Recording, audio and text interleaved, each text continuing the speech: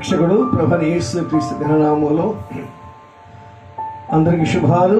తిరిగి మరలా ఒక చివరి ఆదివారం అనగా మే నెల ముప్పైవ తేదీ పునరుద్ధాన జన్మ కావలసిన వాక్యాన్ని మనం ధ్యానం చేసుకుందాం. ప్రభు చిత్తమిద్ద నమ్ముదాం. జూన్ నెలలో మొట్టమొదటి ఆదివారం లైవ్ ప్రోగ్రామ్స్ కాకుండా ముఖాముఖి ఆలయాల్లోనే మనమందరం కూడా వాక్యాన్ని ధ్యానం చేసినట్లు ప్రభు సంధిలో ప్రార్థన చేసుకుందాం. ప్రభు చిత్తమైతే ప్రభు ద్వారం తెలుసుగాక చిన్న ప్రార్థన చేసుకుందాం. సర్వాధికారి జీవాధిపతి గొప్పదేవ ప్రీప్రభారక్షగా మీకు వందనము స్థుతి స్తోత్రం చెల్లిస్తూ మీ నామాన్ని మహిపరుస్తున్నాం మీకే మహిమ ఘనత ప్రభావం కలుగును కాక మా రక్షక మా రాజా మీకు వందనాలు.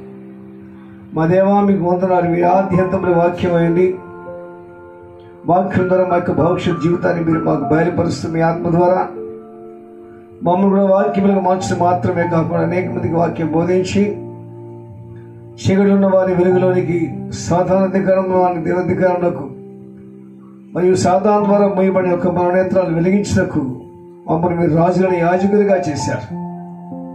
తద్వారా మీకు వందనం మోస్తూ తీసుకోవద్దని చెల్లిస్తున్నాము.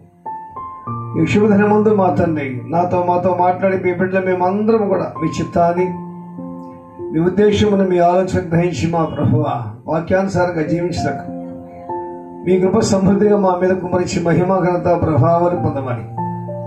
ఆత్మల కాపరి వాక్యమైన క్రీస్తు యేసు పరిశుద్ధ నామమున మీకెళ్ళి వినిమగా ప్రార్థించి వేడుకుంటున్నాము తండ్రి. అమ్మేన్ అమ్మేన్ అమ్మేన్ ప్రభు యొక్క వాక్యాన్ని ధ్యానం చేసుకుందాం.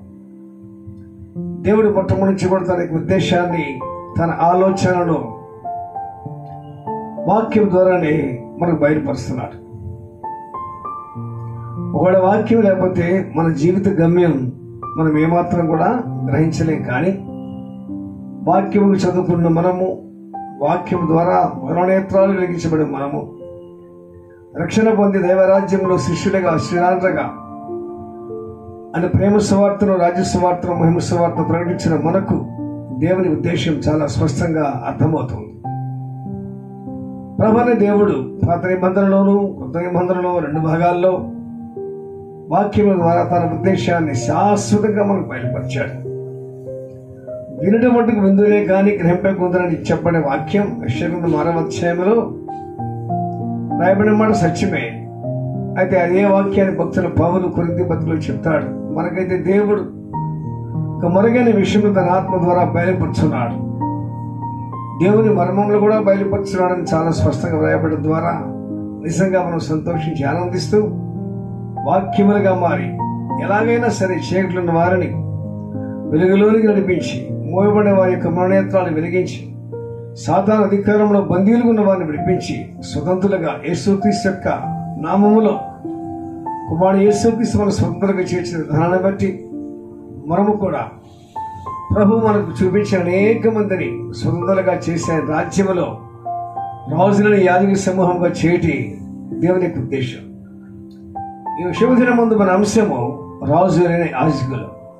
కింగ్ యాజ్ ప్రీస్ట్ రాజులే యాజకులు. పాత నిబంధనలో రాజు వేరు యాజకుడు వేరు. పాత నిబంధన క్రమంలో దేవుడు బ్రహ్మని యెహోవా దేవుడు సరాసరి రాజుతో మాట్లాడేవాడు కాదు కానీ యాజకుడితో మాట్లాడేవాడు. ఆ యాజకుడు దేవుని యొక్క చిత్తం దేవుని ఉద్దేశం దేవుని ఆలోచన రాజుకు బయలుపరిచేవాడు. అలాగే రాజు కూడా దేవునితో మాట్లాడాల్సిన విషయాలు సరాసరి దేవునితో మాట్లాడకుండా ఎందుకనగా అది విధానం కాదు కాబట్టి యాజకుడు చెప్పినప్పుడు యాజకుడు అన్ని కూడా చాలా స్పష్టంగా దేవునితో మాట్లాడుతూ ఉండేవాడు చెప్తూ ఉండేవాడు. అది క్రమం. రాను రాను రాను రాను రాను రాను మరి మొట్టమొదటిగా దేవుని యొక్క వాక్యం నిగమకాండంలోను ఆ తర్వాత పోస్తున్న పేదలు రాసిన పత్రికలోను చివరగా యోహాను ప్రకటన గ్రంథములో దేవుని ఉద్దేశాన్ని పూర్తిగా మనం గ్రహించి మనమే రాజులని యాజకులుగా దైవరాజ్యంలో దేవుని రాజ్యంలో తిరిగి జన్మించే మనమందరం ఓ విధంగా రాజులము పరిపాలన చేయడకు రెండోది యాజకత్వం చేయడానికి యాజకులుగా దైవ నిర్ణయాన్ని మనం గ్రహించి ఆ ప్రకారం మన జీవితాలు కొనసాగిస్తున్నాం. దేవునికి మహిమ గంత ప్రభావం కలుగును కాక పాత నిబంధనలు నిర్గమకాండము పంతొమ్మిదవ అధ్యాయము ఐదవ వచనం చూస్తే కాగా మీరు నా మాట శ్రద్ధగా విని నా నిబంధన అనుసరించి నడచిన ఎడల మీరు సమస్త దేశ జనాలలో నాకు స్వకీయ సంపాదించగలదు సమస్త భూమి నాదే కదా. మీరు నాకు యాజక రూపమైన రాజ్యము గారు పరిశుద్ధమైన జనముగా ఉందని చెప్పుము. కట్రమని హోవా దేవుడు. తన సేవకుడైన మోషకు చెప్తున్నాడు కదా నాలుగు వందల సంవత్సరాలు ఐగుప్తులో బానిసలుగా ఉండి బానిసత్వం నుంచి విడిపించబడి వాగ్దాన భూమిలో ప్రవేశపెట్టిన యొక్క జనాంగములకు ప్రభాని దేవుడు తన సేవకుడు మోష ద్వారా చెప్పబడే మాటలు మనం జ్ఞాపకం చేసుకుంటున్నాం. ప్రభు చెప్తున్నాడు సమస్త భూమి నాదే కదా. మీరు నాకు యాజగురమైన రాజ్యం గారు పరిశుద్ధమైన జనముగా ఉంటారు. సమస్త కలిగినవన్నీ ఆయన ద్వారా కలిగి ఉన్నాయి ఆయన లేకుండా ఏమీ కలిగి ఉండలేదనే వాక్యాన్ని మనం మనపూర్వకంగా నమ్ముతున్నాం.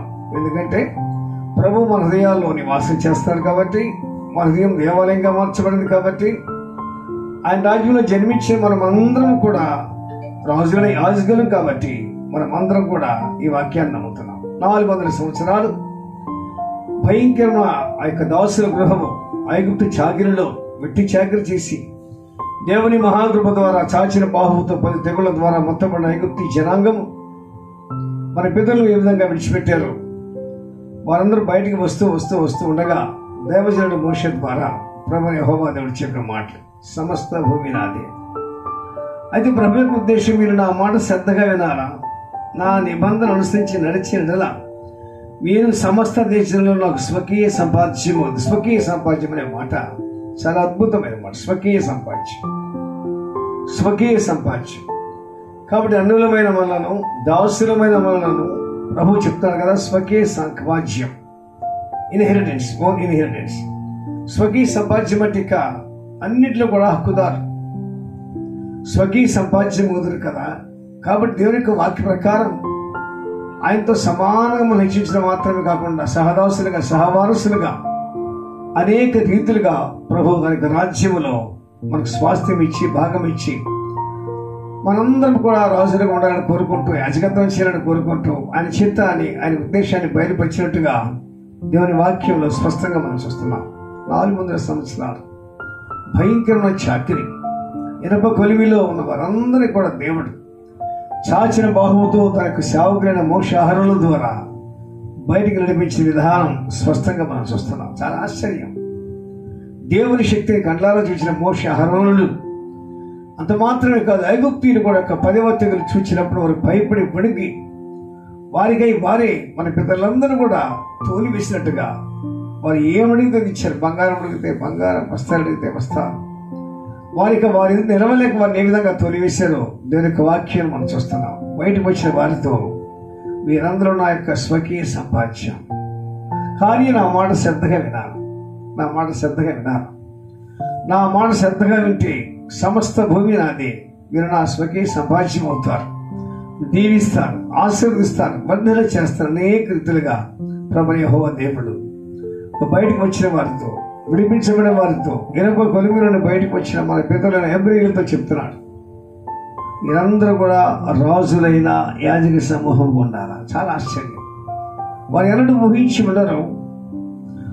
వారి యొక్క భయంకర శ్రమలో చాకిలో వారు చనిపోతే బాగుండు అనుకునేవారు కానీ వారు పెట్టిన మొర దేవుని సందికి చేరినప్పుడు ప్రభైన దేవుడు మరి మొర విన్నాడు మరి ఎందుకు లక్ష్యం ఉంచాడు దిగి వచ్చాడు. ఆ యొక్క హోరేవ పర్వతం దేవుని పర్వతం పిలవబడిన యొక్క హోరేవ పర్వతం దిగి వచ్చి మోషతో మాట్లాడి మోష చేతికలను దేవుని చేతికలుగా మార్చి తన సహోదర హరణతో పాటు మన తిరిగి ఏ దేశం నుండి అయితే పిరికి వాడై పారిపోయి వచ్చాడు అదే దేశానికి మోషే ప్రవక్త అయిన మోషే తన సహోదరుల హరణతో పాటు చాచిన బాహువుతో మహాద్భుతమైన కార్యాలు జరిగించాడు.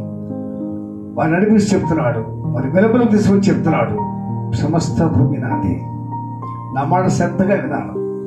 అప్పుడు కానీ ఇప్పుడు కానీ ఎప్పుడైనా సరే ప్రభైన దేవుడు ఆయన మాట వినాలని మనం కోరుకున్నాడు. ఆ మాటలు నిశ్చయంగా మన ఆత్మీయ చెవులో నాటబడితే మనం దిగిన పొందుతాం ఇద్దరు ఆదాములు మొట్టమొదటి ఆదాము మట్టి నుండి తీయబడిన ఆదాము శరీర సంబంధి దేవుని మాట వినలేదు. రెండవ ఆదాము మహిమ సంబంధి పరిశుద్ధాత్మ జన్మించిన క్రీస్తు యేసు పరిపూర్ణంగా విధేయలేదు నూటికి నూరుపాడు విధేయుడై లోకాన్ని పాపాన్ని రోగాన్ని మరణాన్ని వ్యాధిని జయించి తను తాను దేవుని కుమారునిగా రుజువు చేసుకుని అవనిష్టంగా ఆయన జనాంగమైన మనందరం ఎదురు ముందు కూడా నడిపించిన మహాత్ముతమైన దేవుడి ఆది వాక్యమైన దేవుడి యొక్క క్రీస్తు యేసు. క్రీస్తు యేసుతో సమస్తము సాధ్యమే. అప్పుడు క్రీస్తు యేసు యొక్క పులువులో లేదా ఆయన యొక్క సారథ్యంలో నడిపించబడుచున్న పన్నెండు మంది శిష్యులలో ఒక శిష్యుడైన హెఫా లేదా పేతురు ఆయన కూడా సగ్గా ఇలాంటి వాక్యాన్ని తెలియజేస్తాడు పేతురు రాసిన మొదటి పత్రికలో కూడా చాలా స్పష్టంగా పేతురు రాసిన పత్రికలో ఈ చక్కని లేఖనాన్ని తెలియజేస్తున్నాడు పేతురు రాసిన మొట్టమొదటి పత్రిక రెండవ అధ్యాయము తొమ్మిదవ వచనం. అయితే మీరు చీకటిలో నుండి ఆశ్చర్యకరమైన తన వెలుగులోనికి మిమ్మల్ని పిలిచిన వారి గుణాతిశయమును ప్రచురము చేయ నిమిత్తము ఏర్పరచబడిన వంశము రాజులని యాజక సమూహమును పరిశుద్ధ జనమును దేవుని సొత్తిన ప్రజలే సీమోను పెద్దగా మార్చిన ప్రభు సీమోను కేఫాగా మార్చిన ప్రభు యశుభ శుభదినమందు మనము రక్షణ పొందితే సరే ఒకవేళ రక్షణ పొందకపోతే మనం కూడా రక్షణ పొంది ఆ యొక్క శిష్యులుగా లేదా శిష్యార్థంగా రాజ్యములో ఆయన చిత్తాన్ని ఉదయం గ్రహించి మనం కూడా రాజులని యాజకులుగా మార్చబడవడని రాజుగాను యాజకునిగాను మనమందరం కూడా ఆయన రాజ్యములో దేవుని రాజ్యములో వర్ధిల్లాలని ప్రభైన క్రీస్తు యేసు తన సేవకుడు శిష్యుడైన అపోసులైన పేదల ద్వారా చెప్తున్నాడు. రాజులైన యాజక సమూహం చాలా అద్భుతమైన లేఖం. రాజులు. మనమందరం మిగిలిన వారము అయోగ్యము పాత్రలము ప్రభువాని పిలిచిన కూడా తగిన పెద్దలు లేనివారు. అయినప్పటికీ కూడా ప్రభైన క్రీస్తు చేసిన కృప ద్వారా మనం రక్షించి మనందరం కూడా తన రాజ్యంలో తిరిగి జన్మింపచేసి మన ఆది ఆదాం యొక్క తండ్రులు ఆదాం వారు కోల్పోయిన యొక్క పరిశుద్ధాత్మతో మరలా నింపి అంత మాత్రమే కాకుండా అనేక రీతిలుగా ఆత్మ సంబంధములను బద్దెలు చేస్తూ ప్రభన క్రీస్తు చేసి మనందరం కూడా మరొక పర్యాయము రాజుల యాజకులుగా ఉండగలను అని తన యొక్క పోస్టులైన పేదల ద్వారా స్మరిస్తున్నాడు. అయితే వీరి చీకటిలో నుండి ఆశ్చర్యకరమైన తమ వెలుగులోని పిలిచిన వారి గుణాతిశయములు ప్రచురము చే నిమిత్తము ఏర్పరచబడిన వంశము రాజులని యాజక సమూహమును పరిశుద్ధ జనమును దేవుని సొత్తు. సో మనమందరం కూడా దేవుని సొత్తు అయి ఉన్నాం. ఇంతకు ముందు అయితే మనమందరం కూడా అంధకార సంబంధమైన జీవితంలో సాధారణ బందీలుగా ఉన్నాం కానీ ఇప్పుడైతే మనం దేవుని సొత్తు. ప్రైస్లో చాలా గొప్ప అద్భుతమైన మార్పు ఎంత ఆశీర్వాదము? ఇంతకు ముందు సాతాను బందీలుగా ఉండి వాని ఇష్టాన్ని వాని ఉద్దేశాలు వాని ఆలోచనలు మన ద్వారా నెరవేర్చినట్టు దేవుడు మనం వాడుకున్నాడు కానీ తండ్రి అయిన దేవుడు కుమారుడు యేసుక్రీస్తును వధించి ఆయన చెందించే రక్తం ద్వారా నన్ను నిన్ను ప్రపంచంలో కోట్ల మందిని కొని మనందరూ కూడా రాజుల యాజకులుగా చేసే విధానాన్ని బట్టి మరొకసారి మనమందరం కూడా చేతులు దేవుని స్తోత్రం చెప్తాం. రెండుగా నిజమే ఇంతకుముందు బందీలుగా ఉన్నాం. సాతాను బందీలుగా కుమిపోతున్నాం అయితే దేవుని యొక్క వాక్య ప్రకారం రక్షించిన దానిని వెతికి రక్షించడానికి మనుష్య కుమారుడు ఈ లోకానికి వచ్చి నా కొరకు నీ కొరకు సర్వ ప్రపంచం కొరకు తన ప్రాణము పెట్టి చిత్త చివరి రక్తపట్టు వరకు చెందించి మనందరం కూడా కొన్నాడు మొట్టమొదగా అమ్ముడుపోయాం మనం పాపానికి అమ్ముడుపోయాం. తొలి ఆదాం హవల సంతానమైన మనం అందరం కూడా అమ్ముడుపోయిన వారు. మనమందరం ఖైదీలం సాతాన ఖైదీలం భయంకర దుస్థితిలో భయంకర పాపములో కొట్టుమిట్టాడుచు బ్రతకలేక చావలేక ఎట్టగేలకు సువార్త విని నమ్మి బాప్తిస్తూ మంది పరిశుద్ధాత్మ పొందిన తర్వాత ఇప్పుడు మనకు అర్థమైంది. ప్రభుని ఏసేవరు ఆయన తండ్రిని హోవాదేవుడు ఎవరు? ప్రస్తుతం నడిపించిన పరిశుద్ధాత్మ దేవుడు ఎవరు? చాలా స్పష్టంగా గ్రహించి ప్రభువులు ఆనందిస్తున్నాం. రక్షణ పొందే మనం. రక్షణ పొందే మనము. మనము ఒంటిగలిమి సుమారు రక్షకుడు మనలో ఉన్నాడు. ప్రభు యేసుక్రీస్తారు కూడా చెప్పాడు యోహాను స్వార్త పదవ అధ్యాయం ముప్పై వచనంలో నేను మంత్రిగా లేను. నేను తండ్రి ఏకమై ఉన్నా. నేను తండ్రి ఏకమై ఉన్నా. ప్రభుని యేసుక్రీస్తు ఎంత దీనామా స్థితిలో పశువుల భాగంలో జన్మించారు ప్రతి సంవత్సరం కూడా డిసెంబర్ ఇరవై ఐదు క్రిస్మస్ పండుగ చేసుకున్నాం కానీ దాని యొక్క నిజమైన భావాన్ని గ్రహించిన వారు చాలా కొద్ది మంది అదే విషయాలు అదే విషయాలు పోనీ గ్రహించిన వాళ్ళని సరే ప్రభైన దైవరాజ్యంలో దేవుని రాజ్యంలో చక్కగా రాజుల యాజకులుగా పనిచేస్తున్నారా అంటే అది కొద్దిమంది అందరూ కూడా గ్రహించలేకపోతారు. దేవుని యొక్క వాక్యంలో ప్రభు యేసు క్రీస్తు చక్కని లేఖనం చెప్పాడు యోహాను స్వాత ఎనిమిది ముప్పై ఒకటిలో సత్యము బిమ్మును స్వతంత్రులుగా చేయను. మనమందరం దాసులం మనమందరం బానిసలం మనమందరం బందీలం. అయితే ఇప్పుడు మట్టు కాదు. సాధారణ రాజ్యంలో బందీలకు ఉన్నాం కానీ అంధకార సంబంధమైన అధికారంలో కొలసి పత్రిక మొట్టమొదటి అధ్యాయం పదమూడులో అపోసిన పౌలు కొలసి సంఘానికి వస్తాడు. ఆయన మరణను అంధకార సంబంధమైన అధికారమును విడిపించి తాను ప్రేమించిన తన కుమారు యొక్క రాజ్య నివాసులుగా చేశాడు. సో చీకట్లో నుండి వెలుగులోకి వచ్చాం. జీవులోకి వచ్చాం. దైవ సన్నిధికి వచ్చాం. ప్రభుత్వ యొక్క వచ్చాం. తేడా అర్థమైంది మనకు. అంధకార సంబంధమైన రాజ్యం ఏంటో వెలుగు రాజ్యం ఏంటో అక్కడ వ్యత్యాసాన్ని చక్కగా గ్రహిస్తూ ప్రభు యొక్క మాటలు మన చెవుల్లో నాటుకుంటాం చెవులో నాటకుండా నాకేంటది? మీరు రాజులైన యాజకులు. మీరు రాజులైన యాజకులు. దేనికి మనం రాజులైన యాజకులం అంటే ఆయన యొక్క గుణాతిశయము ప్రచురము చేయటానికి. యేసు క్రీస్తు మా దేవుడు అంటాం. సరిపోయిందా? ఎంత మాత్రము సరిపోదు. నువ్వు ఎంతవరకు చెప్పగలవు అంతవరకు చెప్పవచ్చు నేను ఎవరు మార్చారు? నీకే నువ్వు మారేవా? నీ తండ్రి మార్చాడా? నీ తండ్రి మార్చిందా? నీ భార్య మార్చిందా? ఎవరిని మార్చగలిగారు? ఎవరు మారుస్తారైన భూలోకములు అందరూ నీ వారే కదా?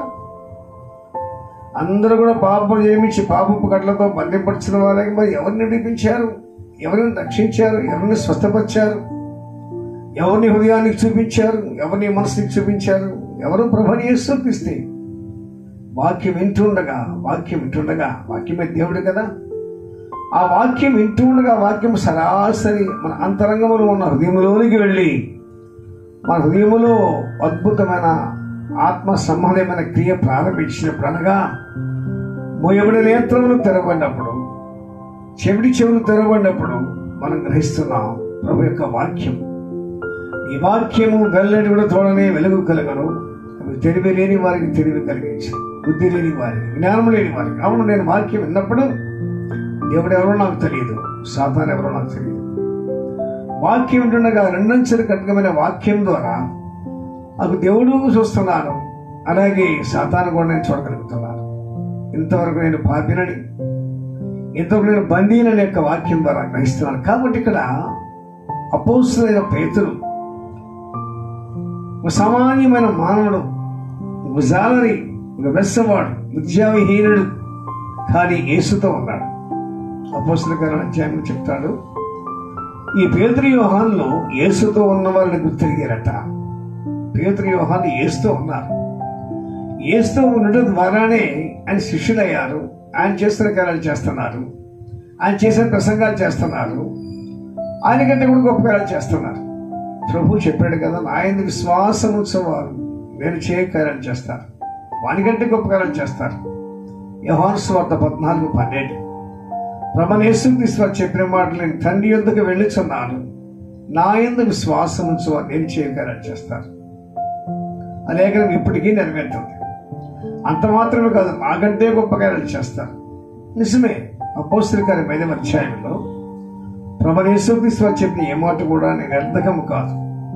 మార్క్ పదమూడు ముప్పై ఏడు ప్రకారం ఆకాశము గదించిన భూమి గదించిన కానీ నా మాట ఏమాత్రం గదింపు చెప్పాడు. అలాగే పేద యొక్క నీడలో రోగులు ఉన్న సమయంలో వారందరూ స్వస్థ పొందారు. ప్రభు చెప్పాడు నాకంటే గొప్ప కార్యం చేస్తారు.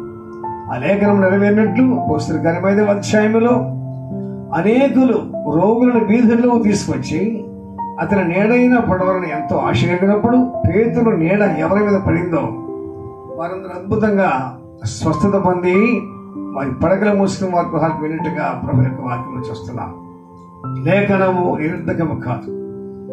కాబట్టి ఇప్పుడు నీవు నేను మనము చేయవలసిన కార్యం మనమందరం కూడా ఆయన గుణాతిశయములు ప్రచురం చేయాలి? ఆయన గుణాతిశయములు చాలా మంది సింపుల్గా రక్షణ పొంది సరిపోద్ది అనుకుంటారు తను తాను సరిపోదు అనుకుంటారు అలాగైతే మరి లేఖనం ఎలా నెలవేరుతుంది వారిలో వంతైన వాడు వెయ్యి మంది పది వందల మంది అగును. వారిలో వంతైన వాడు పది వందల మంది. లేఖనం ఎలా నెరవేరుద్ది? నీ మటుకు నువ్వు రక్షణ పొందిన ఇంట్లో ప్రభుని ఆరాధిస్తుంటే నీ తక్కువ నడిపిస్తారు?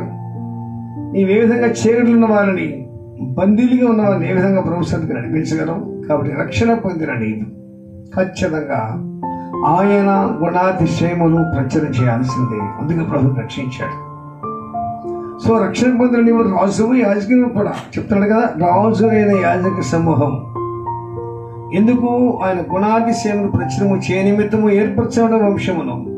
రాజులైన యాజక సమూహము అంత మాత్రంగా దేవుని సొత్తని చాలా స్పష్టంగా రక్షకుడు ప్రభు యేసుక్రీస్తు తెలియచేసిన మాటలు మరి జ్ఞాపకం చేసుకొని మనము కూడా రక్షణ పొందిన మరి క్షణము నుండి ఆయన రాజ్య విస్తరణ నిమిత్తము మనము కూడా సాక్ష్యం చెప్తూ ప్రభుత్వమైతే వాక్యోపదేశం చేస్తూ చీకటిలో బందీలు ఉన్న వారిని అనేక మందిని ప్రభు సంతికి నడిపించాలి మత స్వార్త ఇరవై తొమ్మిది పద్దెనిమిది పంతొమ్మిది వచ్చాడు మనం చూస్తే ప్రభు యేసు క్రీస్తు పరలోకానికి వెళ్తూ వెళ్తూ వెళ్తూ ఆయన శిష్యులతో చెప్పాడు. ఆ కొండల మీద తీసుకెళ్ళి వారితో మాట్లాడుతున్నాడు. అని చెప్పాడు పరలోకంలో నాకు అధికారం ఉంది భూలోకంలో నాకు అధికారం ఉంది. అనేక సంగతులు బోధించి చివరికి ఏం చెప్తానంటే సర్వలోకానికి వెళ్ళండి సర్వ సృష్టికి స్వార్థ ప్రకటించండి సమస్త జనులను నా శిష్యులుగా చేయండి. సో యేసు క్రీస్తు యొక్క ఆజ్ఞ రక్షణ పొందిన వారందరూ కూడా మరికొంతమందిని సిద్ధపరచాలి. రక్షణ పొందిన వారు మరికొంతమందిని సిద్ధపరచాలి. అది ప్రభా యేసు క్రీస్తు వారికి ఆజ్ఞ. ఆ ప్రకారమే శిష్యులు చేశారు. పేతురు యోహాని యాకోబులు చేశారు. మరికొంతమంది శిష్యులు చేశారు. ఆయన కోరిక శిష్యులు కావాలా. శిష్యులంతా కావాలి. ఎందుకు దర్శనం? వారు కూడా రాజులని యాజకులే. కాబట్టి మనం గ్రహిస్తున్నాం కదా సహోదరు సహోదరులరా. మనమందరము కూడా మొట్టమొదటగా రక్షణ పొందిన నీవు కానీ నేను కానీ ఆయన యొక్క గుణాతిశయంను ప్రచురం చేయాలి? ప్రభు చెప్పాడు కదా పదకొండు ఎనిమిది మధ్య వార్తలో నేను సాత్వికులను దీనమసిన కాబట్టి మీ మీద నా ఖాళీ అయితే నేర్చుకునేటప్పుడు మీ ప్రాణములకు విశ్రాంతి కలగదు యేసుక్రీస్తు వారికి ఉన్న గుణాతిశయం. ఆయనకున్న అద్భుత లక్ష్యం సాత్వికము దీన మనసు నేను సాత్వికులను దీన మనసు గలవాడు సో మనం అందరం కూడా ఆయన దేవుడు మహామహిమ గలవాడు. ఆకాశం మహాకాశం పట్టసారి వాడు చెప్పాడు. ఆకాశమంతా నా సింహాసనం. భూమంతా నా పాదపీఠము అని చెప్పిన గొప్ప దేవుడు రిక్తుడై దీనుడై ఏ విధంగా భూలోకంలో పశుభాగంలో జన్మించాడో ఏ విధంగా చాలా భయంకరమైన స్థితిలో సేవ ప్రకటిస్తూ గృహము లేక ఒక స్థిర నివాసం లేక భూలోకములు తాను చే పని సంపన్నంగా చేసాడో అవన్నీ కూడా మన జీవితంలో జ్ఞాపకం చేసుకొని మన హృదయంలో మనం కూడా ఆత్మల సంపాదన ముఖ్యోద్దేశంగా పెట్టుకోవాలని క్రీస్తు నామంలో మీకు మనం చేస్తాను. సర్వలోకానికి వెళ్ళండి.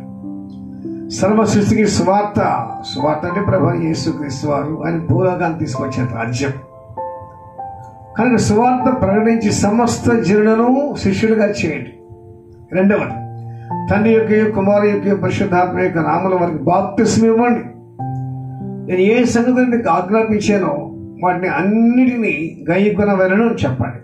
ఇక సమాప్తి వరకు మీతో కూడా ఉన్నానని ఒక కొండల మీద వారిని ఆస్వాదిస్తూ వాళ్ళని ప్రత్యేకింపడినట్టుగా దేవుని వాక్యం చూస్తున్నాం. హరడుయ కాబట్టి నీవు నేను మనం భూలోకంలో ప్రపంచంలో ఎక్కడైనా సరే ఎవరైనా రక్షణ పొందితే అనగా తిరిగి జన్మిస్తే ఇక లోతుకు చెప్పాలంటే పరిశుద్ధాత్మ పొందేది నూతన సృష్టిగా మార్చబడతాం కాబట్టి ఇక సువార్త ప్రకటన మొదలుపెట్టాను. యేసు యొక్క జనన చరిత్ర అన్యోదయ గణనయ సమదయ చేసిన కంప్యూటర్ సువార్త పరిచర్య ఆయన ఆరోహణము ఆయన యొక్క శిలువ సువార్త అలాగే ఆయన యొక్క ఏ విధంగా చనిపోయాడో ఏ విధంగా సమాధి చేయబడ్డాడో ఏ విధంగా తిరిగి లేచాడు ఇవన్నీ కూడా ఆయన యొక్క అద్భుతమైన కార్యములు ఆయన మన మంచిగా ఉన్నాడు. భౌతికంగా క్రీస్తు యేసు మన మధ్య కానీ ఆయన మన మధ్య ఉన్నాడు. ఉదాహరణ లేఖనం. ఎక్కడ ఇద్దరు లేక ముగ్గురు నా నామను కూడి ఉన్నారో అక్కడ నేను వారి మధ్య ఉన్నాను. ప్రభు మన మధ్య ఉన్నాడు. రక్షణ పొందిన వారి మధ్య ఉన్నాడు. ఆయన ఎందుకు భయభక్తుల వారి మధ్య ఉన్నాడు. ఆయన స్వార్థ ప్రకటించే వారి మధ్య ఉన్నాడు. ఆయన వాక్యముకు విధేయులైన వారి మధ్య ఉన్నాడు. ఆయన శరీరాన్ని ఉంచి రక్తం సేవించే వారి మధ్య ఉన్నాడు. ఆయనే ప్రభు అయిన క్రీస్తు. ఎన్ని అద్భుతాలు. ఎన్ని ఆశ్చర్యాలు ఎన్ని సూచక క్రియలు. ఎన్ని మహత్కారాలు ప్రభు మనకిచ్చిన దీవెన ఏంటంటే నా ఎందుకు విశ్వాసం మీరు కూడా ఈ కార్యాలు చేస్తారు. యోహాన్ మార్క్స్ వార్త పదహారు పదిహేడు చెప్పాడు కదా నమ్మిన వారిలో సూచక క్రియలు కనపడదు నమ్మిన వారిలో. మనం నమ్మే బాప్తిష్టం పొందాం. కాబట్టి ఎంతమంది బాప్తిష్టం పొందిన వారందరి కార్యాలు చేయాలి మరి. అది దేవుని యొక్క ఆజ్ఞ దేవుని చిత్తం దేవుని ఉద్దేశం. నమ్మి బాప్తిష్టం పొందిన వారు నేను చేయగలని చేయాలా? వారికంటే మరి గొప్ప కార్యాలు చేయాలి? నా నామంలో దయాలు వెళ్ళగొట్టాలా కొత్త భాషలో మాట్లాడాలా? స్వార్థ ప్రకటించాలా? రోగుల మీద చేతులించినప్పుడు వారు స్వస్థత పొందాలా? ఇవన్నీ కూడా ప్రభు తన శిష్యుడికి ఇచ్చిన ఆజ్ఞ. అతని బంధువులు కూడా ప్రభని యెహోవా దేవుడు తన శక్తిని మోషే చేతికరలో ఉంచాడు. మోషే ఎక్కడికి వెళ్ళా కానీ ఈ చేతికర చేత పెట్టేవాడు దేవుని చేతికర్ర ఎక్కడికి వెళ్ళాక కానీ. ఆ చేతి చేతికర్రతోనే మానవాతీతమైన కార్యం చేశాడు. ఆ దేవుడే మన హృదయములో ఆత్మరూపిగా నివాసం చేస్తున్నాడు. హృదయము దేవుని ఆలయం దేవుడే ఆత్మ. వాక్యమే దేవుడు. కాబట్టి చాలా విధాలుగా పేదల యొక్క ఉద్దేశం అపోసిన పేదల ఉద్దేశం. అననీయ సభ్యులను చంపడం మాత్రమే కాదు చనిపోయిన తగ్గితాన్ని కూడా బ్రతికించాడు. చాలా గొప్ప కార్యాలు చేశాడు. చాలా చాలా గొప్ప కార్యాలు. ప్రభు యొక్క చిత్తం ప్రభు యొక్క ఉద్దేశం ప్రభు యొక్క ఆలోచన ఓ నిజంగా పరిశుద్ధాత్మ పొందిన తర్వాత పేదరికి అర్థమైంది పేదరు ఆ విధంగా ప్రవర్తించి చక్కగా రెండు లేఖలు రాస్తున్నాడు. రాసిన మొట్టమొదటి పత్రిక రెండు పత్రికలు రాస్తున్నాడు. అంత మాత్రమే కాదు మానవాతీతమైన కార్యం ప్రభనేసు యేసుక్రీస్తు చేతిలో చేవేసి సముద్రం మీద నీటి మీద నడుచుట ఒక ప్రత్యేకమైన కార్యం. చాలా స్పెషల్ అది. ప్రభు యొక్క వాక్యం మనం చూస్తున్నాం మత సువార్తలో. ప్రభనేసు యేసుక్రీస్తు వారి నీటి మీద నడిపిస్తూ నడుస్తూ ఉండగా పేదలు అడుగుతారు ప్రభా నీవు నీవే అయితే నేను కూడా మరి నీటి మీద నడిచి రావడానికి అధికారం ఇస్తా ఉన్నప్పుడు తప్పక రమ్మన్నప్పుడు వెంటనే ధైర్యంగా ఆ ధోని దిగి నీటి మీద నడుచుకుంటూ ప్రభా యేసుక్రీస్తు వారు కలుసుకున్న అద్భుతమైన ఉదంతం అనేక సార్లు విన్నాం. ఇంకా చాలా చాలా చాలా చాలా ఎన్నో కార్యాలు. ప్రమాణ క్రీస్తు యేసు వారు ఏ విధంగా పేదను వాడుకున్నాడో చాలా స్పష్టంగా మన పత్రికలో చూస్తున్నాం. అలాగే పేదలు రాసినటువంటి పత్రికలు కూడా అనేక విషయాలు గ్రహిస్తున్నాం. కాబట్టి దేవుని దేశం. పాత నిబంధనలు చెప్తున్నాడు మోష ద్వారా సమస్త భూమి నాదే కదా. నా మాట శ్రద్ధగా వింటే మీరు. రాజులైన యాజక సమూహం స్వాగ స్పష్టం చెప్పాడు. అలాగే మరి కొత్త నిబంధనలో అపోస్తులలో మరి గరుడైన యొక్క పేదలతో కూడా చెప్తున్నాడు పేదలు రాస్తున్నాడు. మనమందరం కూడా అయితే మీరు చీకట్ల నుండి ఆశ్చర్యకరమైన వెలుగులోనికి మిమ్మల్ని పిలిచిన వారి గుణాతిశయములు ప్రచురం చేయాలా? యేసు గురించి ప్రకటించాలా? యేసుక్రీస్తు గురించి బోధించాలా? ఆయన మాటలు ఆత్మయం జీవమైనవి మనం కూడా పరిశుద్ధాత్మ పడి పరిశుద్ధాత్మానుసరంగా వాడబడుతున్న మనము కూడా ఆయన మాటలు చెప్తున్నప్పుడు ఆత్మీయంగా చనిపోయిన వారు కదులుతున్నారు నడుస్తున్నారు పరిగెత్తున్నారు కూడా. అవును.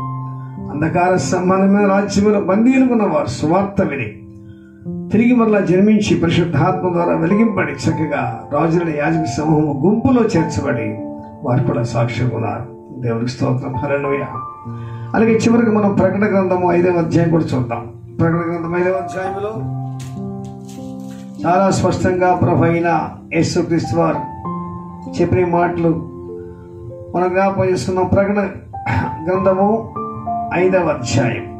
ఇవ గ్రంథము తీసుకుని దాని ముద్రలు ఇప్పుడుకు యోగ్యుడము నీవు వధింపబడిన వాడవై నీ రక్తం ఇచ్చి ప్రతి వంశములోను ఆయా భాషలు మాట్లాడువారిలోను ప్రతి ప్రజలోను ప్రతి జనములోను దేవుని కొరకు మనుషులను కొని మా దేవునికి వారిని యొక్క రాజ్యముగాను యాజకులుగాను చేస్తే చివరిగా ప్రకటన గ్రంథంలో కూడా చాలా స్పష్టంగా ఇవే లేఖనాలు మనం వింటున్నాం. ఇవే మాటలు మనం వింటున్నాం. ప్రకటన గ్రంథం ఐదవ అధ్యాయంలో ఒక అద్భుతమైన ఘట్టం ఒక పుస్తకము విలబడ్డ లోపల వ్రాయబడి ఏడు ముద్రలతో ముద్రపడింది యోహాను ఏడుస్తూ ఉన్నాడు ఏముంది ఆ ముద్ర గ్రంథంలో? పరలోకానికి పరశుడై ఆత్మశ్రీయుడైన యోహాను భూలోకంలో శ్రమను జ్ఞాపకం చేసుకుంటూ అలాగే గ్రంథంలో ఏముంది? ఏం రాయబడింది? ఎవరు దాన్ని తీస్తారు? ఎవరు దాన్ని చదువుతారని చెప్పినప్పుడు ఎవ్వరు దాన్ని చూడటానికి కానీ ముట్టుకోవడానికి కానీ ఇప్పటికి కానీ యోగ్యులు ఎవరు లేరు కానీ వధింపబడి యొక్క గొర్రె పిల్ల యేసుక్రీస్తు మాత్రమే ఆ యొక్క గ్రంథమును ముద్దలు విప్పటకు చదువుటకు యోగ్యుడని ఇరవై నలుగురు పెద్దల్లో ఒక పెద్ద చెప్పినప్పుడు యోహాన్ ఆశ్చర్యపోయాడు. నిజమే ఆ గ్రంథం వైపు ఎవ్వరూ చూడలేరు.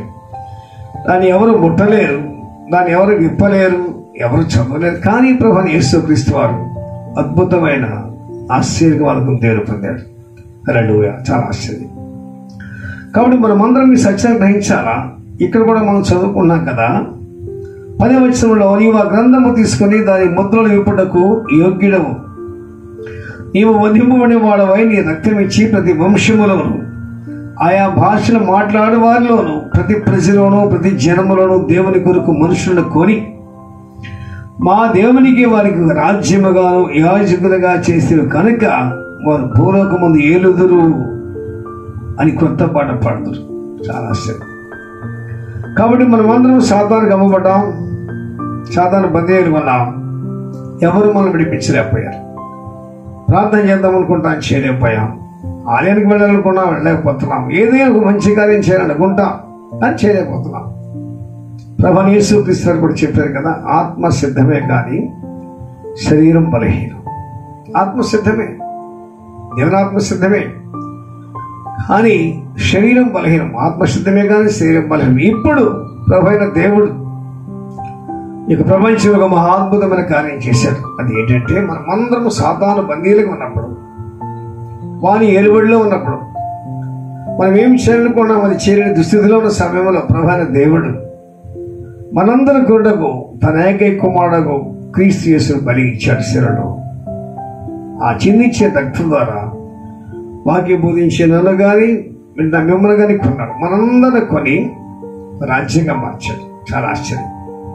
అదే మనం పడపడుకుంటాం అర్హుడవు అర్హుడవు గొర్రె పిల్ల నీవు యోగ్యుడు నిజమే. అందరం సాధ్యాన్ని మధ్యని ఉన్నాం. ఎవరు విడిపించేవారు లేరు. మంచి చేద్దాం అనుకుంటాం చేయలేము బ్రహ్మపత్రిక ఏడవ అధ్యాయంలో పౌలు సవులు ఆయన వేదనది మంచి చేరిన కోరిక నాకు కానీ చేయలేకపోతాను లోపల ఏదో భయంకరమైన దురాత్మను బంధిస్తుంది ఆటంకంగా ఉంది అడ్డుబంధం ఉంది ఎవరు విడిపిస్తారు? ఇలాంటి భయంకరమైన దుస్థితిని నన్ను విడిపించే వారు ఎవరు? అయ్యో ఎంతో దౌర్భాగ్యం అని చెప్పి వినిపిస్తూ వినిపిస్తున్నాడు నేను అలాగే మీరు అలాగే. మంచి చేయాలనుకున్నా కానీ చేయలేకపోతున్నాం కానీ ఇప్పుడు ప్రభుని యేసు క్రీస్తు ద్వారా చేస్తున్నాం. ఎలా చేయగలుగుతున్నాం? ప్రభు అయిన దేవుడు తన ఏకై కుమారుడు క్రీస్తు యేసును వధించి ఆయన రక్తం ద్వారా మరణను కొని కొన్న మనందరూ కూడా ప్రపంచవ్యాప్తంగా రాసులైన యాజకులుగా మార్చి ఉన్నాడు. హరిలోయ మూడోసారి చదువుకున్నా నిర్గమకాండంలో ఐగుప్తు నుండి విడుదల పొంది వచ్చిన యొక్క ఇజ్రాయెల్తో మోషే మాట్లాడుతున్నాడు. పెద్ద నిబంధనలో పేదలు చాలా స్పష్టంగా పరిశుద్ధాత్మ తర్వాత ఆయన సంఘంతో మాట్లాడుతున్నాడు. ఆయన గుణాదిశయం ప్రచురం చేయాలని. ఇక మూడవది ప్రకటన గ్రంథములు అసలు మనం ఎలా దేవుని రాజ్యంలో జన్మించామో చాలా స్పష్టంగా వ్యవహారం వస్తున్నాడు తల్లి అయిన దేవుడు కుమారు వహించి ఇక్కడ శిలువలో ఆయన చిందించే రక్తం ద్వారా బలలో కోరి ఒక రాజ్యంగా యాజగురు రాజ్యంగా మార్చాడు. రాజులైన యాజక సమూహం చాలా అద్భుతంగా మూడు స్థలాల్లో కూడా ఈ వాక్యము స్పష్టంగా వేయబడింది సో మనం ఎలా వచ్చాం? దేవుని రాజ్యంలోకి ఎవరైనా ప్రశ్నిస్తే యేసుక్రీస్తు రక్తం ద్వారా.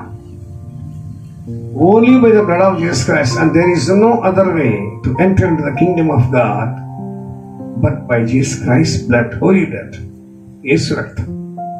అందుకే యోహాను యోహాన్ రాసిన మొట్టమొదటి పత్రిక మొదలధ్యాయం ఎనిమిదిలో ఆయన వెలుగులో నడిచిన ప్రకారం మనము వెలుగులో నడిచినడలా అన్యోన్య సహవాసం గల వారమైందము. అప్పుడు ఆయన కుమారుని యేసు రక్తము ప్రతి పాపం నిమ్మలను పరిశుద్ధులుగా చేయి. సో యేసు రక్తానికి మాత్రమే ఇక అద్భుతమైన శక్తి. ఇక మరి ఏ విధంగా లేదని క్రీస్తు యేసు నామంలో అని సేవకునిగా శిష్యునిగా ధైర్యంగా మీకు బోధిస్తున్నాను. మీతో మాట్లాడుతున్నాను. యేసు రక్తం. నేను ఆ విధంగా రక్షణ పొందాను. ఒకవేళ నీవు కూడా రక్షణ పొంది యేసు రక్తం ద్వారానే. There is no other way except but by the blood of Christ Yesu రక్తం కోట్ల కోట్ల కోట్ల మందికి ఈ రెండు యుగాలకు తరాలకు సంబంధించి ఎన్ని వేల మంది అయినా లక్షల మంది అయినా కోట్లైనా ఎందుకంటే పల్లకులో తండ్రి కోట్ల కోట్లు కథలు ఉన్నాయి. అవి నింపబడాలంటే యేసు రక్తంలో కూడానే బయటికి రావాలి. యేసుక్రీస్తు నీ కొరకు నా కొరకు రక్తం చెందించాడు మన పాపం నుండి మనం విమోచించిన వానికి అంటాడు. మన పాపం నుండి వెండితో కానీ బంగారంతో కానీ ఏ విధంగా మనము విమోచింపబడలేదు కానీ నిర్దోషమైన గొర్రెపిల్ల రక్తం ద్వారానే సో ప్రభు మీకు మనం చేస్తున్నాను. నువ్వు తిరిగి జన్మిస్తే రాజువని యాజకుడు. నువ్వు రాజువు యాజకుడు కూడా యాజకుడు యాజకత్వం చేయాలి. పాత నిబంధన యాజకులు వేరు. అయినప్పటికీ కూడా ప్రధాన యాజకుడు ప్రభుైన క్రీస్తు వేసి ప్రధాన యాజకుడు ప్రభు యేసు క్రీస్తే మనల్ని ఒకసారి జ్ఞాపకం చేస్తారు పాత నిబంధనలో రాజులు ఘనుడు. అయినప్పుడు కూడా ప్రభు వారితో ముఖాముఖిగా మాట్లాడేవాడు కాదు.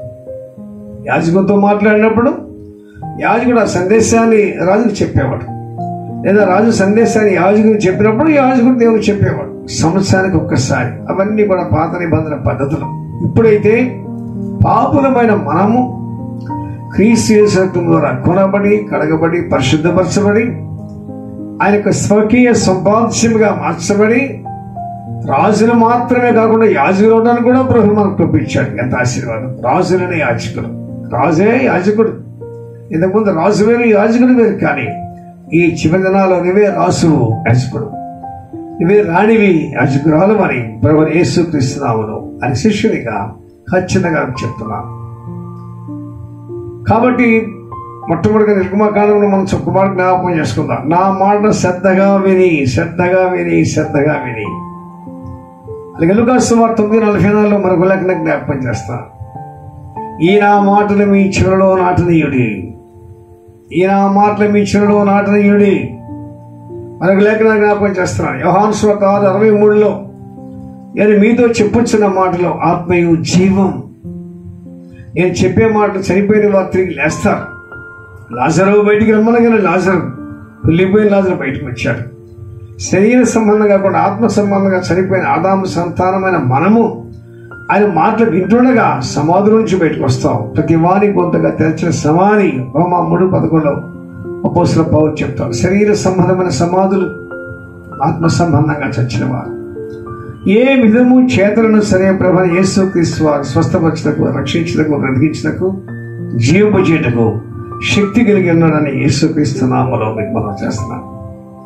సో ఆయన మనను అంధకార సంబంధమైన అధికారులు నడిపించాడు అంత మాత్రం అది ప్రకటనలో మనం చూస్తున్నప్పుడు ప్రభు అయిన దేవుడు తన కుమారుడు యేసుక్రీస్తుని వధించాడట. నీవు వధింపబడిన వాడవై నీ రక్తం ఇచ్చి ప్రతి వంశములో ఆయా భాషలు మాట్లాడే వారిలోనూ ప్రతి ప్రజలోనూ ప్రతి జనములోనూ దేవుని కొరకు మనుషులు కొని మా దేవునికి వారికి స్వాస్థ్యంగా రాజులను యాజకులుగా చేశారు కనుక వారి భూలోకంలో ఏలుదండి కొత్త పాట పాడు చాలా చక్కని మాట. భూలోకాన్ని వెళ్తారు కొత్త పాట పాడతారు. రాజుని యాజకులుగా ఉంటారు. ఎంత అధిక్యత what a great privilege for కాబట్టి ప్రభునాల మీకు మనం చేస్తున్నాం దేవుని ఉద్దేశం ఏదో ఒక పాత నిబంధనలు కాదు. కొత్త నిబంధన పరిశుద్ధాత్మని కాలం కాదు. కానీ భూలోకంలోనూ ఉంటాం. రాజులే ఏలే మనం అందరం పరలోకములు కూడా ఉంటాం. మరొక మాట చెప్పి నేను కోరుకున్నాను ప్రకటన గ్రంథం మూడవ అధ్యాయము. ప్రకటన గ్రంథం మూడవ అధ్యాయము.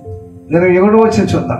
నేను జయించిన తండ్రితో కూడా ఆయన సింహాసనం ముందు కూర్చున్న ప్రకారము జయించాలని నాతో కూడా నా సింహాసనం ముందు కూర్చుండ పెట్టుకుని ఇచ్చేది సంఘమతో ఆత్మ చెప్పుచున్నమాట చెవిగిన వాడు వినడు కాక ప్రభు యేసు జయించారు. తండ్రి గుడి పార్శ్వ దాసులైన అలాగే నీవు నేను కూడా జయించడానికి ప్రభు మార్గం చూపించాడు. వ్యవహాన్ రాసిన మొదటి పత్రిక ఐదవ వచ్చం నాలుగవ వచ్చం ఐదు నాలుగైదు వచనాల్లో దేవుని మూలంగా పుట్టిన వారు అందరూ ప్రపంచవ్యాప్తంగా లోకాన్ని జయిస్తారు లోకం అంటే శాతానే. దేవుని మూలంగా పుట్టిన వారందరూ లోకాన్ని జయిస్తారు లోకము జయించిన విజయము విశ్వాసం. మనం చదువుకునే గ్రంథము పరిశుద్ధ గ్రంథం మాత్రమే కాదు సుమా విశ్వాస గ్రంథం అని కూడా ధైర్యం చెప్పుకోవచ్చు. విశ్వాస గ్రంథం. విశ్వాసం లేకుండా దేవునికి ఇష్టమైనట్టు అసాధ్యం ప్రభని యేసు క్రీస్తు విశ్వాసం కర్త. కొనసాగించువా వాక్యం ఉన్నప్పుడు మనం బయట నుంచి ప్రభు మాట వింటున్నాం కానీ మనం రక్షణ పొందిన తర్వాత రక్షించిన ప్రభు మనలోనే ఉన్నాడు. కానీ మనలో ఉండి అనుక్షణము క్షణక్షణం ప్రతిక్షణం మాట్లాడుతూ ఉంటాడు. అందుకే యోహాన్ సుద్ పదవ అధ్యాయం చెప్పాడు. నా గొర్రెలు నా స్వరం వింటాయి. వినాలా మనం? ఖచ్చితంగా వినాలా. ఎందుకంటే మనము రాజులనే యాజక సమూహం. మనము ఆయన సొత్తు. ఇంతకుముందు అయితే మనం లౌకిక సంబంధంగా ఉన్నాం. సాధారణ సొత్తుకున్నాం కానీ తండ్రి అయిన దేవుడు. కుమారుడు యేసును వహించి ఆయన చెందించిన రక్తము ద్వారా నన్ను కొన్నాడు. నా ఇంటి వారిని కొన్నాడు. ఎందుకు కొన్నాడు? నీ ఇంటి వారిని కొన్నాడు. ఇంకా ప్రభాని యేసు క్రీస్తు వారి యొక్క రక్తము కొంటూనే కొంటూనే ఉన్నాడు. ఒకవేళ ప్రభు సెలవిచ్చిందిగా రహస్యాలు అక్కడ సంభవించి సంఘాన్ని తీసుకువెళ్ళిపోతే మరి క్షణం నుంచి ఆ ఆ అద్భుతమైన క్రియ ఆగిపోతుందని. అది ఆగిపోక ముందే ప్రభుని యేసు క్రీస్తు వారి యొక్క సేవకుడిగా శిష్యునిగా ఖచ్చితంగా మీకు తెలియజేస్తాను సహోదరుడా సహోదరి ప్రభు యేసుక్రీస్తు రక్తంతో కొనబడ్డావా రెండవది కొనబడిన నీవు ఆయన యొక్క రక్తం ద్వారా అమూల్యత్వం ద్వారా నీ జన్మ కర్మ పాపలు కడుక్కొని రాజువని యాజకుడిగా ఆయన రాజ్యంలో సంచారం చేస్తున్నావా? వెళ్తున్నావా? పాపాన్ని వెళ్తున్నావా? లేదా పాపం చేత వెళ్ళబడుతున్నావా ఒకసారి జ్ఞాపకం చేసుకోవాలి? ప్రభు మన మధ్య ఉన్నాడు. ఆయన నిన్న ఉన్నాడు నేడు ఉన్నాడు ఎంతో ఉన్నాడు. ఆయన ఉన్నవాడు అన్నమాట ఆయన ఉన్నాడు మనలోనే ఉన్నాడు కాబట్టి ఉన్నపాటు మనం అందరం కూడా అపోసల పేతుడు రాసిన రీతిగా మనమందరం కూడా రాజుని యాజక సమూహం ఆయన గుణాతిశయమును ప్రచురం చేయాలి. ఆయన కీర్తిని ప్రచురం చేయాలి. ఆయన మహిమను ప్రచురం చేయాలి. మరొక విషయం. రమణేశ్వర మత్స్వాత పదహారు పద్దెనిమిదిలో ఇదిగో నీవు పేతురువు ఈ బండ మీద నా సంఘమును కట్టుదును. స్వతహా మీకు ద్వారములు. దాని నిలవనేరు చక్రం వచ్చాడు పరలోక రాజ్యం యొక్క తాళపు చెవులు నీకు పరలోక రాజ్యం యొక్క తాళపు చెవులు నీకు భూలోకంలో దేని బంధిస్తావో పరలోకంలో దాన్ని బంధిస్తాను. భూలోకంలో దేని ఇవ్వదువో పరలోకంలో దాని ఇవ్వదని చెప్పాడు. నీకు కూడా పరలోక రాజ్యం యొక్క తాళపు చెవులు ఇచ్చాడా ప్రభు? అనగా నీవు కూడా కొన్ని ఆత్మలు నడిపిస్తున్నావా? ఇంకొక ఆత్మ ఒక్కొక్క తాళపు చెవి ఎంతమంది నడిపించారు? రక్షణ పొంది? ప్రభా యేసు క్రీస్తు వారి సందేశం చివరిలో సర్వ ప్రపంచంలోకి వెళ్ళండి. సర్వ సృష్టికి స్వార్థ ప్రకటించండి. సమస్త జనులను ఆ యొక్క శిష్యులుగా చేయండి. ఒక శిష్యుడు ఒక తాళము చేయి. ఇంకొక శిష్యుడు ఒక శిష్యురాలు. ప్రభునాలా మీకు మనం చేస్తున్నాను మనమందరం తిరిగి జన్మించాం. యేసు రక్తం ద్వారా కొనబడ్డాం. తండ్రి నీ కొరకు నా కొరకే తన ఏకైక కుమారుడు క్రీస్తును వధించాడు ఆయన్ని ఆయన వధించి ఆయన రక్తం ద్వారా నేను నడుపన్నాడు సో మనమందరము రాజులని యాజకులుగా లోకాన్ని వెళ్తూ పరిపాలన చేస్తూ యాజకత్వం చేస్తూ ఆయన రక్తమాంసాల్లో పాలివారమైతూ మనం అందరం ప్రభుత్వం చేయాలి. ప్రభుని యేసు క్రీస్తు యొక్క రహస్య రాకడ వరకు. లేదా మన పిలుపు వరకు కూడా మనం చేయవలసిన అద్భుత కార్యం ఈ కార్యం ఇంతకు మినహా ఏమీ లేదు. సో మనం అందరం కూడా రాజుల యాజకులుగా ఉన్నామా? పరిచయలో ఉన్నామా? పరిచయం చేస్తున్నామా? ఇంక దానికి వెలపడున్నామా? ఒక్కసారి జ్ఞాపకం చేసుకుందాం. సో వాటిలో మనం అందరం కూడా ఆయన రాజ్యంలో జన్మించాలా? దేవుడు ఒక రాజ్యాన్ని పంపించాడు. ఆ రాజ్యమే ప్రముఖ రాజ్యం? మొత్తం సువార్త నాలుగు పదిహేడులో ప్రభుని యేసు క్రీస్తు వస్తూ వస్తూ చెప్తున్నాడు. ప్రముఖ రాజ్యము సమీపించింది. మారుమూరు స్పంది సువార్త అమ్మండి దైవరాజ్యంలో ప్రవేశించండి. ప్రియ సహోదరుడు సహోదరి ఒక వాక్యం శ్రద్ధగా మరలా మరలా విని ఒక్కసారి నిన్ను పరీక్ష చేసుకో. నువ్వు రాజుమని రాజుకోలేదా ఆ గొప్ప అనుభవం నీకుందా? అలాగైతే ప్రభు యొక్క గుణాదిశయంలో ప్రచురం చేస్తున్నావా ఎంతమందిని ప్రభు నడిపించావు? ఒకవేళ ఇంకా నడిపించకపోతే ఇంకా ప్రభు యొక్క గుణాదిశయం ప్రచురం చేయకుండా నీ మటును మౌనంగా ఉంటే ఇది అనుకున్న సమయం. ప్రభు త్వరగా రాబోతున్నాడు. ఆయన త్వరగా రాబోతున్నాడు. ఒక పాదం తీసి బయటపెట్టి రెండో పాదం తీసివేస్తే మత్స్యాకాశానికి వచ్చినట్టే. సంఘాలు మనం చూస్తున్నాం. సంభవాలు మనం చాలా స్పష్టంగా చూస్తున్నాం. ప్రజలందరూ కూడా మన థర్డ్ వేవ్ కోసం చూస్తారు మన ఇండియాలో మనమందరం కూడా భయభక్తులు కలిగి ఉందాం. ఆయన పని నమ్మకం చేద్దాం. ప్రభు యొక్క కృప కోసం పెడతాం ప్రభు ఈ మాటలు మన హృదయంలో ఫలింప చేయను గాక. ఆమె సర్వాధికారి జీవాధిపతి గొప్పదే వాక్యం ద్వారా నాతో మాతో మాట్లాడే మీ పాదాలకు వందనాలు స్థుతి స్తోత్రం చేస్తున్నాం ఎంతమంది విన్నారు విన్న వారందరూ కూడా మనసాక్షిగా మంచిగా రాజుని యాజకులుగా మీ శిష్యులుగా అంటగా. మీ స్వార్థ సేవలో పారిభావిస్తుడు సహాయం చేయండి. రాజ్యాన్ని మీరే విస్తరింప చేయండి. క్రీస్తు యేసునాములు ప్రార్థన చేస్తున్నాము తండ్రి. ఆమె తండ్రి కుమార పరిశుద్ధాత్మ సంధి కూడా మాకు సమృద్ధిగా తోడి. స్వార్థ వినక రాజ్యంలో సంచారం చేసిన మనం అందరం రాజుని యాజకులు వలె అని గుణాతిశయంలో ప్రచురం చేస్తూ ప్రభు యొక్క కార్యాభివృద్ధి ఆసక్తి కలిగి ఆయన కృపలో వర్ధినడం. తండ్రి దేవుడు పరిశుద్ధాత్మను మరి సమృద్ధిగా కుమ్మరించును గాక. ఆమె ఆమె ఆమె అందరికీ వందనాలు. God bless praise Lord praise ఆమె